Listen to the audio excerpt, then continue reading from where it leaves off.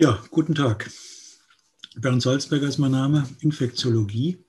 Und ich möchte Ihnen heute die Frage beantworten, kann ich mich mit dem AstraZeneca-Impfstoff impfen lassen? Der Impfstoff hat eine ganze Menge an negativer Presse bekommen.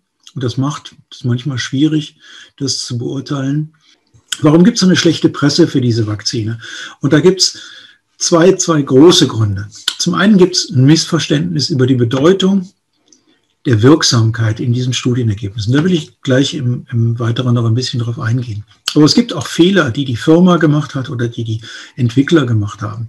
Die haben während der Impfstudien wirklich eine schlechte Kommunikation betrieben. Die haben zum Beispiel in einem Telefonat mit der amerikanischen Zulassungsbehörde nicht erwähnt, dass sie vor einigen Stunden die ganze ganzen Impfstudien angehalten haben. Und die FDA, also die Zulassungsbehörde, hat daran, davon dann zwei Stunden später aus der Presse erfahren, was natürlich einfach eine unglückliche Situation ist.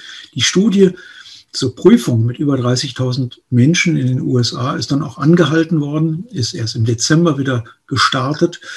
Und wir erwarten die Ergebnisse ungefähr in den nächsten zwei Wochen erst. Also die größte Studie mit dem AstraZeneca-Impfstoff, die steht eigentlich noch aus. Natürlich kommen dann noch viele, viele Sicherheitsdaten hinterher.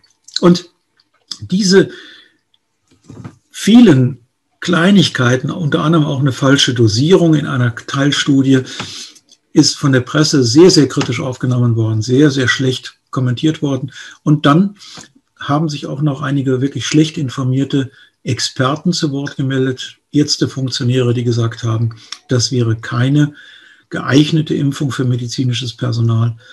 Und das kann man eigentlich nicht so unterschreiben.